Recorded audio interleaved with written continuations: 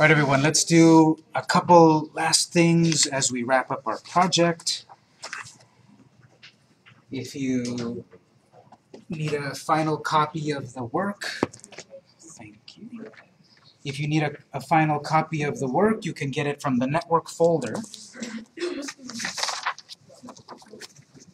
You want to open your uh, index.html and index.js files in Notepad.